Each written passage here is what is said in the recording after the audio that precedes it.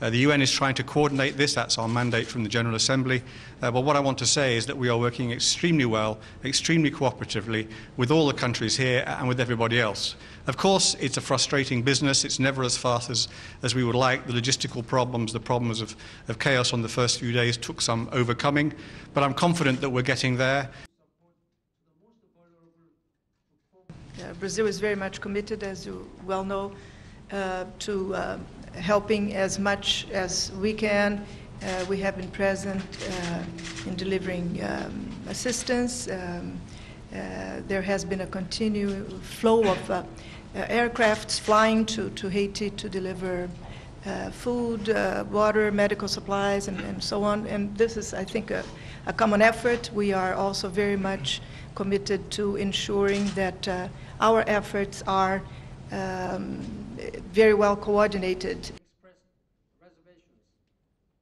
We are there for the long term. This is not something that's going to be resolved quickly and, and, easily. There's immediate relief efforts, but there's a reconstruction effort underway as well that will be much longer term.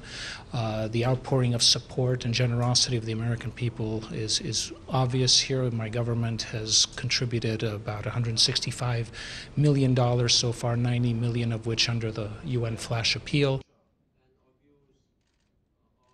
The, the immediate and the and the overriding priority is is finding people, uh, getting them medical assistance, getting them food and water, and that is of course the the prime focus. But at the same time, I think uh, that uh, um, individual member states, the UN family, have to start thinking beyond that. There there are enormous needs for shelter. Just to, to give you one example.